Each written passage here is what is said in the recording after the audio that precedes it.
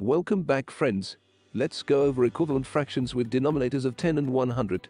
Remember, the denominator is the bottom number of a fraction and represents the total pieces of a whole. Some denominators are multiples of each other and we can use them to help create equivalent fractions. For example, let's say Gil here swam for 5 tenths of the afternoon.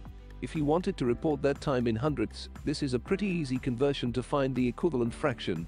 Here we have 5 tenths. We want the denominator to be 100. How do we get from 10 to 100? We multiply by 10. Whatever we do to the bottom, we have to do to the top. 10 times 10 equals 100 and 5 times 10 equals 50.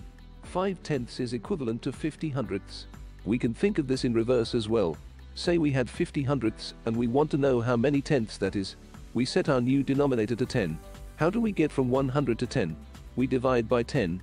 Whatever we do to the bottom, we have to do to the top. 100 divided by 10 is 10. 50 divided by 10 is 5. 50 hundredths is equivalent to 5 tenths. Okay, now that we've got the basics out of the way, let's dial it up a little bit.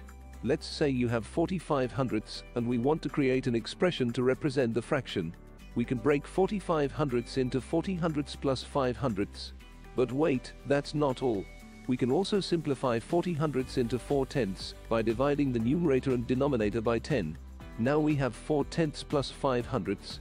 Even though the denominators are not the same, the expression represents the fraction because we could convert 4 tenths back to hundredths and add. Great work today.